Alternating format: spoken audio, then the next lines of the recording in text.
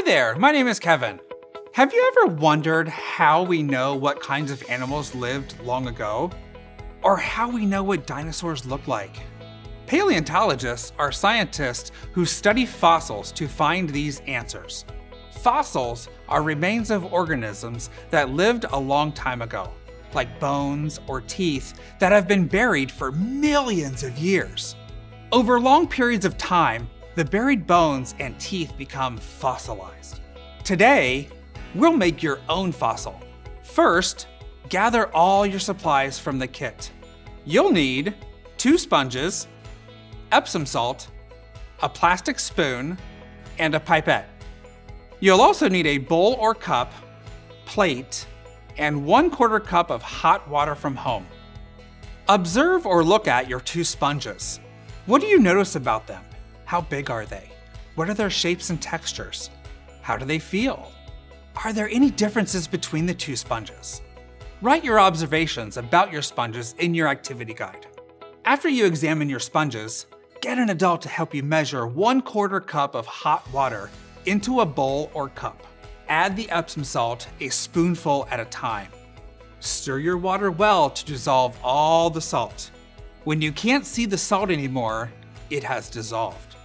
Eventually, there will be so much salt that new salt doesn't dissolve. Put one of your sponges on the plate and keep the other on your work surface. Use your pipette to drip your saltwater solution onto the sponge on the plate. Let the water soak into the sponge. You can use your spoon to press the sponge down and help it absorb the salt water. Once your sponge is all wet, stop adding salt water. Set the two sponges in a sunny place out of the way until the water evaporates from your wet sponge. This might take a few days.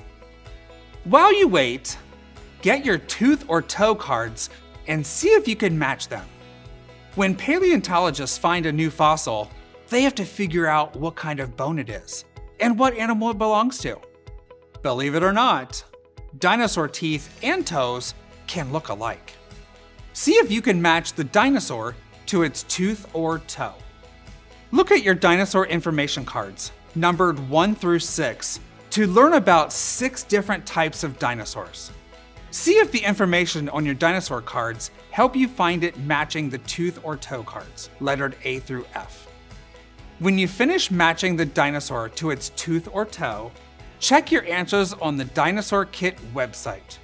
Now that we've played a fun matching game, Let's get back to our sponges. When all the water has evaporated, pick up both of your sponges.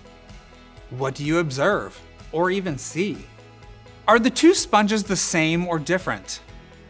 Why do you think that is? What happened to the sponge you filled with salt water?